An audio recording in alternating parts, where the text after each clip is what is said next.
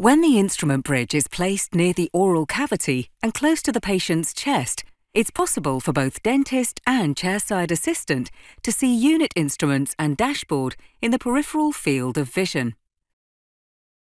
They can easily reach unit instruments and operate the dashboard without losing focus on the patient. One or two trays can be fitted under the instrument bridge.